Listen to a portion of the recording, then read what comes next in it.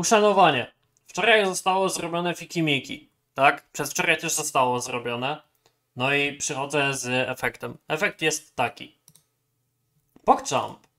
Yy, od razu mówię, że nie wiem, czy się warto w to bawić, czy nie. Ja to zrobiłem tak trochę na odpierdol, nie powiem, że nie. E, ale jakby opłacało mi się. Nie wiem, wy róbcie co uważacie. No i teraz pozostaje kolejne pytanie. Ponieważ tu wydarzył się taki eksces.